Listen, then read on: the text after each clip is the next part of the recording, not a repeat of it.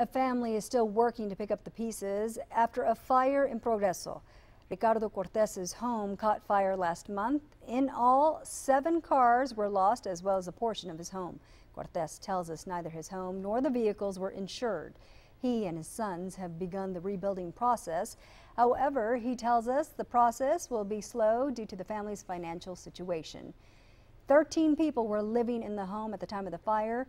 Until the rebuild is complete, Cortez tells us the family will be living with relatives. Investigator John Franz at the Hidalgo County Fire Marshal's office tells us the fire has been ruled undetermined.